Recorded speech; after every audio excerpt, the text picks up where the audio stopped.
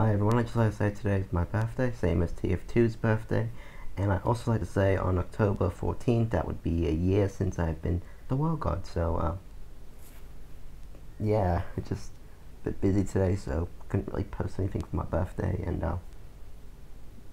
yeah.